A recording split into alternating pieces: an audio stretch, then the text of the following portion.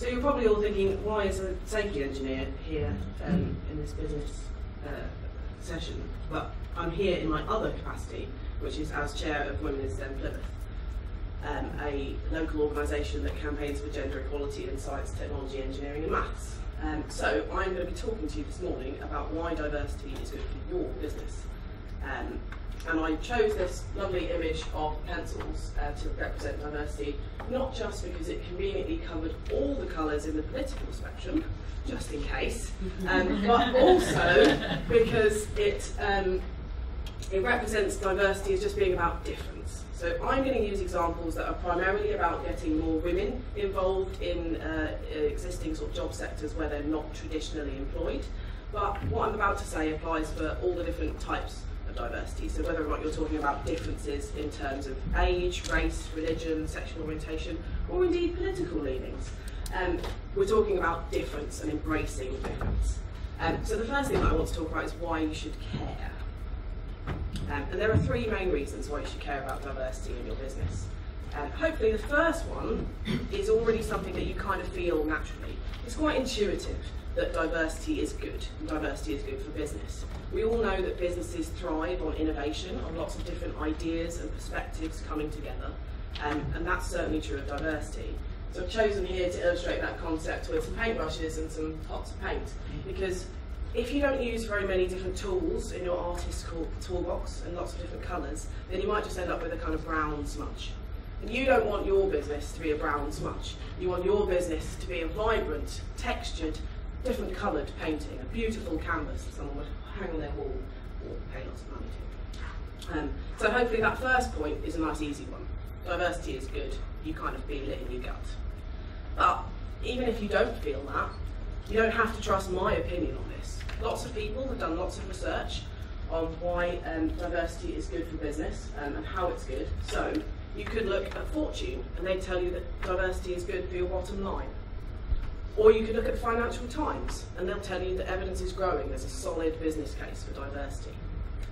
Or you could look at Harvard. I understand that they're quite big in the business world um, and they um, also say that diversity drives innovation. So you don't have to trust me or your gut. You can also look at the data that's out there and the opinion of some fairly big players in the world of business. If you're more of a numbers person, then there is all manner of research out there that tells you why and how diversity is good for your business. The list on the right there illustrates just some of the ways, if you look online, you can find statistics to back up the fact that diversity will give you better teams, more sustainable growth, better recruitment, all the things that are really good for a business. I wanted to focus on just one of these statistics, which I think is something that we're all concerned about with our business, and that's profit. At the end of the day, that's why we're all here in terms of business. Um, if your company is in the top 25% of all companies in terms of gender diversity, it's 15% more likely to outperform its competitors. That is even more the case for ethnic diversity. So if your company is in that same 25%, but in terms of its ethnic diversity, so it's one of the more diverse companies out there, it's 35% more likely to outperform uh, its competitors. So if you want a competitive edge, which let's face it, we all do, it pays to make your company more diverse. So hopefully we've covered why you should care about diversity in your business. Um, but let's think about what the problem is. We all know, hopefully these figures are fairly um, familiar to you, that we need 138,000 new people, new entrants into the, the digital skills arena in the UK every year. That's over a million people between now and 2025. Um, and that and people are struggling to fill that deficit. So why don't we just go out there, talk to all the groups of people that we've traditionally not talked to, let's get loads of women in, let's go to loads of other minorities, we'll fill that, uh, that skills gap and we'll solve two problems with one go. We'll say we've got more diverse business that's more profitable and more innovative, and we've sorted out this skills gap. We've found people that we've been looking for for so long. Unfortunately, there are at least four problems when trying to do that. Um, and I'm going to just highlight them so that you can think about how to combat them in the future. So it's the two R's and the two P's. First R is recruitment.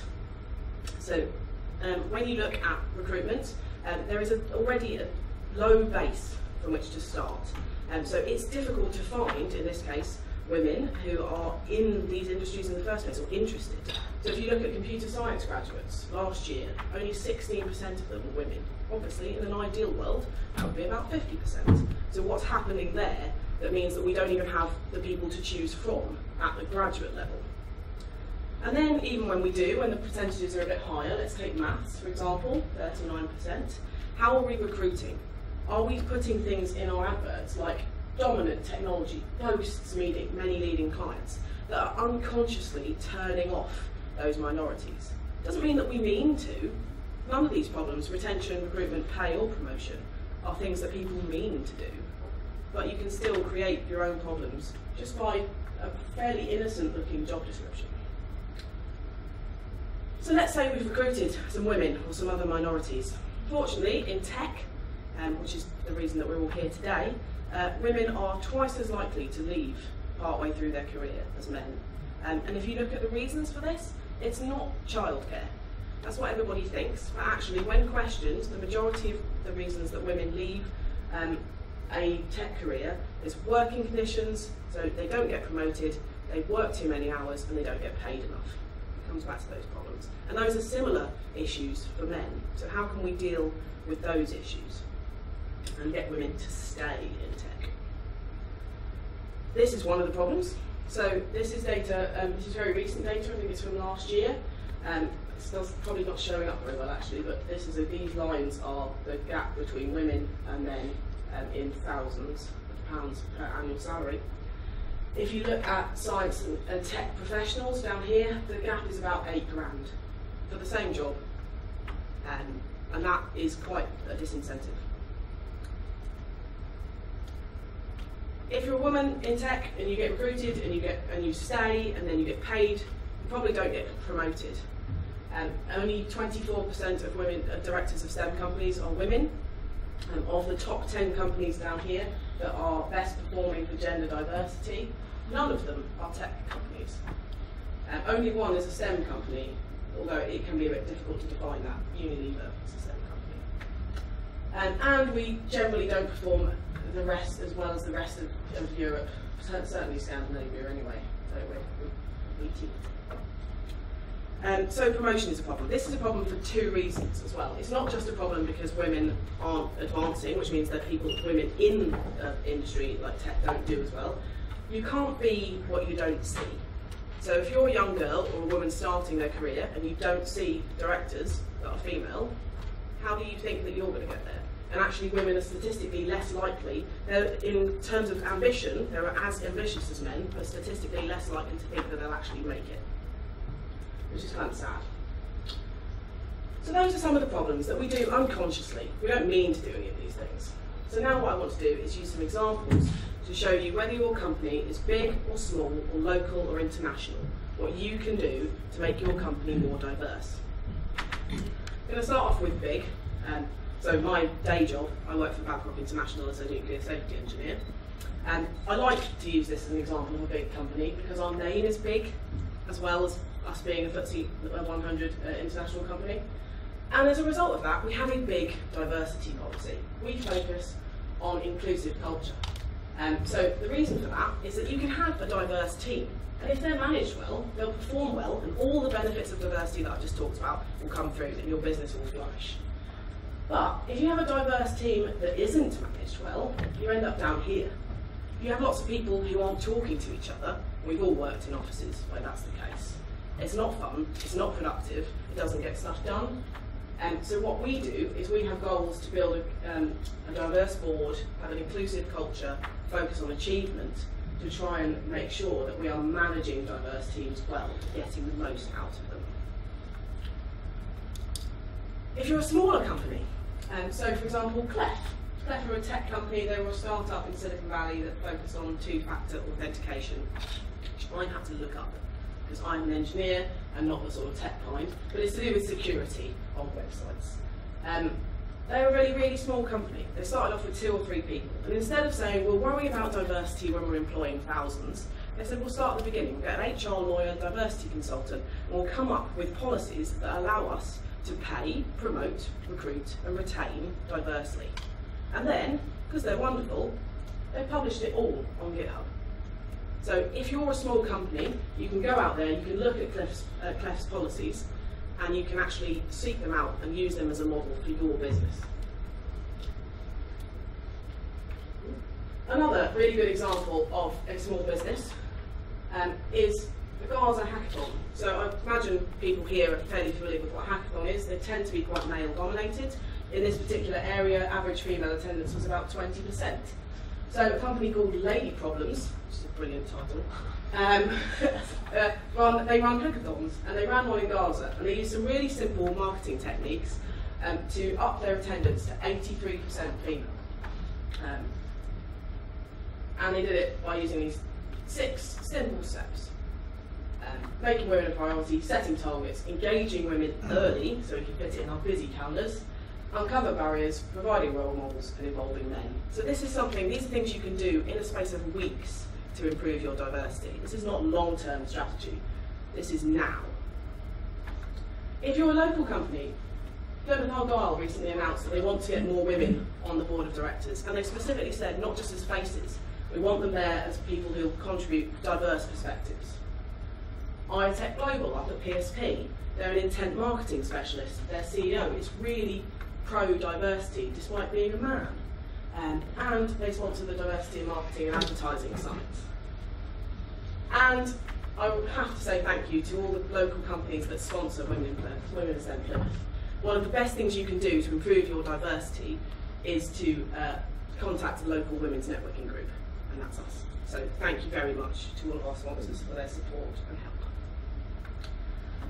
Spotify, brilliant example. They have an annual summit that all their leadership go to that specialises in diversity, sends a powerful message. They have even hackathons mixed, um, and they've got a good practice thumbs up um, as a result of that. And they have this amazing statement on the end of all of their job descriptions. It doesn't matter who you are, where you come from, what you look like, or what music you love. We believe that diversity of experience, perspective, and background lead to a better environment for everyone. Who wouldn't want to work there? Can women in STEM Plymouth help you? A quote from Project Include, who are an amazing open source resource if you want to increase your diversity in tech. Check them out. Change is hard um, and it's difficult. So what we do is we promote our members and we promote things to our members. So if you would like to talk to our members about your business, or you have a service that you offer our members, or you would like to talk them to come and talk to you about what they do so that you can improve recruitment. Do you have world-class facilities that you would like to show off and talk to us about? Then please come, let's have a go. Um, it's a brilliant way of getting more women involved in your business. We support our members because it can be a lonely life being a woman in STEM. Um, so what we do is we physically connect them through networking um, by making them do um, strange things with nails. can have a go the STEM Ambassador Stand down the hall, I think. Um, and we give them social connections as well, which is incredibly important in retention in tech and in STEM. And we inspire the next generation of women in STEM. If you would like to be part of our careers fair um, in 15th of November this year, to where last year we inspired over 200 young women into thinking about a career in STEM, then please get in touch. That is all I wanted to say on diversity. I've overrun a little bit, but thank you very much for listening. If you'd like to talk to me about any of these things later, then um, please do. And for now, I'll take probably a question, I imagine. Does anyone have a question on that? when you were going through on your background side, Mm. one of the first ones was about unconscious bias, Yeah. and, and then you moved past it. How do you change bias when it's unconscious? So, one of the things we do is quite a lot of work with unconscious bias training, and actually at, at Babcock we have unconscious bias training as mandatory for all employees. Um, so it's not about getting rid of unconscious bias. A lot of people seem to think that, um, that you have to remove that bias. It's okay to, to look at a person who's different and think, it's what you do then that matters. It's about saying to yourself, okay, I thought that, but actually that's not real. That's just my gut reaction. Let's move beyond that. And that's the sort of training that we give to people. But I see your point. It's a slow process, and society has to change as well. It's not even about individual companies. It's about much bigger than that. And that's one of the things that Women in STEM try to do. Thank you very much. Fantastic. Thank you.